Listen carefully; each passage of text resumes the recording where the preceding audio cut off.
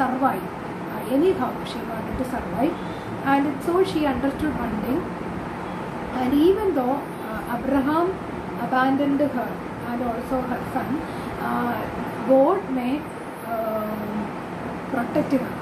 And that optimism, uh, optimism means uh, a hope about the future. So now Hagar started thinking like that. He, uh, she became very optimistic. So now she is not thinking about whether she will die or the baby will die. And she understood and God might have a plan about her and her son. So all of a sudden she became very optimistic. And now she has seen uh, in the next paragraph that you can see. And now she is crawling up in the dunes and uh, she is very exhausted, tired. Uh, and then towards the end of that paragraph, the paragraph started with the Hagar began to wonder about. The end of that paragraph is giving another comparison that you can note down. The whimpers of the baby continue, that should be baby. The whimpers of the baby continue to lick her heart like a tongues of fire. So here uh, uh, she is thinking about uh, the baby's sound. So the whimpering sound is uh, the sound coming from the baby's mouth. So that baby's sound and now it is licking her heart. That means now she is thinking about if the baby dies what will happen. So in order to uh, for the survival of the baby and she took a strong decision.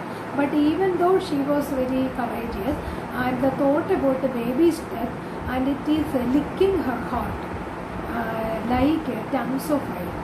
And so now the baby sound is compared to tongues of fire, the flames of fire.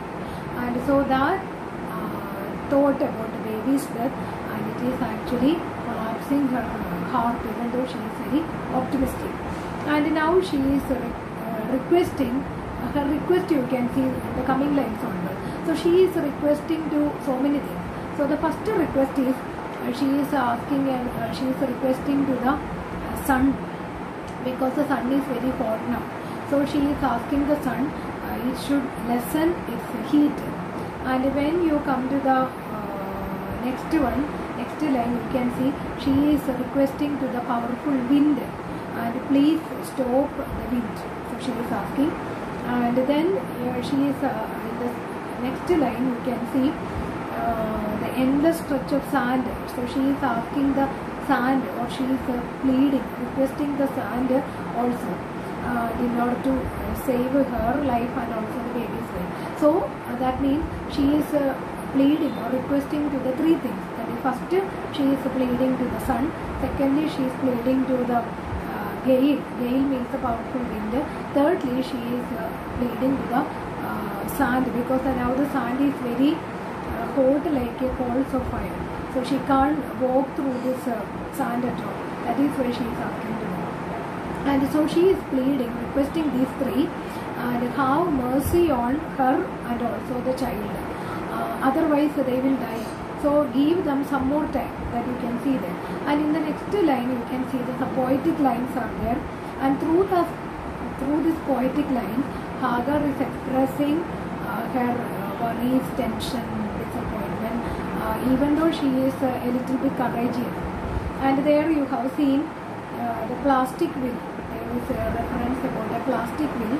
And when you go to the uh, glossary, there you can see plastic here doesn't refer to the actual meaning of plastic. It is a given refer to easily influenced plastic. And that means uh, Abraham was influenced by the will of God. Mm. And enigmatic means uh, mm, enigmatic word. Enigmatic here means mysterious. And we know that uh, whatever God is doing, whatever decisions are taken by God, we don't know. And that is a secret. So God is not uh, um, explaining everything what He is doing. So that is why God is described as an enigmatic God or a mysterious God. So God, uh, often God's ways are not uh, open to us. Uh, he is not always disclosing to us. So God is described as an enigmatic God. And so here, uh, so actually she is telling to this Ishmael and your uh, father Abraham and he was influenced by uh, the enigmatic God's decision, enigmatic God's uh, will to abandon them, and that is given there. Uh, then, uh, according to God's decision, uh, Abraham gave up both of them in the desert, and that is also given there. Then, um, in the next line onwards, both of us will die in this desert because it may be the will of God, etc. She is explaining, and then uh, in the next uh, four lines that you can underline or you can bracket, you can note out. In God's name, let you die. With the last drop of my ebbing strength, strength of body, mind, and soul, for your life, I will fight and keep faith. So that four lines it shows uh, Hagar's uh, powerful attitude uh, towards uh, her care, protection, etc. towards Ishmael. Uh, or it also shows uh, the motherly affection and love and care, and also it shows uh, her endurance, as you have seen in the beginning of the chapter, and it also shows uh, the sacrificing mentality of uh, Hagar, and that is why she is telling, I will uh, fight towards the end of my life uh, for your survival. So, for keeping the baby alive, uh, Hagar is ready to fight for the last breath in her life. And so, uh, she that is why she is telling, I will fight and keep faith. So, having faith in God, Hagar wanted to live until the last breath of her life. And so she is telling, you must survive. Even though I, I may die, and you, my son Ishmael, you should survive. You have to live. And, and then uh, when you come to the next line, that shows the optimism of Hagar. She is not telling you may survive, survive you shall. So that means uh, definitely uh, you, my son Ishmael, you will survive. That is given there. Uh, because uh, she is uh, Ishmael is described as the firstborn of the dispossessed. And here dispossessed refer to uh, Abraham has given up Ishmael. Uh, actually, and there was a particular importance was there for Sarah's son, uh, not for Ishmael. And that may be why she is uh, describing uh, Ishmael as a dispossessed, firstborn of the dispossessed. The giver of life will water give, for God is life and life water. That two lines are very important. And that also shows uh, Hagar's optimism and her strong belief in God. And even though uh, Abraham said, according to God's decision, uh, Hagar and Ishmael were given up in the desert, and she has strong faith in that same God. And that is why uh, she is describing God as the giver of life. And so she is telling, she has a strong uh, belief in God that the same God will save their life. Uh, or otherwise, uh, now there is no water for them. If they are getting water, they may survive. So the water will be given by God. So that shows the strong optimism. And, uh, and also that is she is telling God is life and life water. So water is uh, considered as a life, as a preserver, as you have seen in the beginning. And then in the next paragraph, you have seen Ishmael's condition became very critical uh, because of lack of water. And also now the baby is not doing anything, he is not telling anything. There is only a feeble sound is coming from.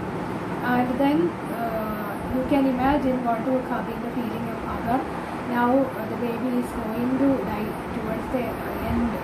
And now all of a sudden she heard somebody is calling her name, Hagar.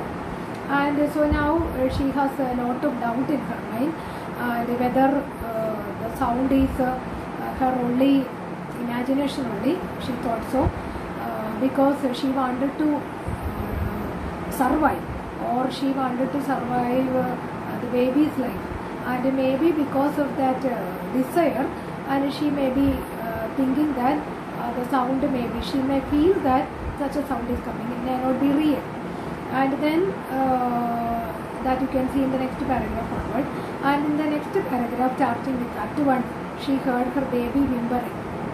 And there once again she heard somebody is calling out her name Hagar. Somebody is calling Hagar Hagar like and then again she thought it may be because of her disappointment and it may be an imagination of her mind that you have seen and then uh, also she may thought that it may be due to the mercy of God. Uh, the God's mercy is already there. Due to the mercy of God, she may feel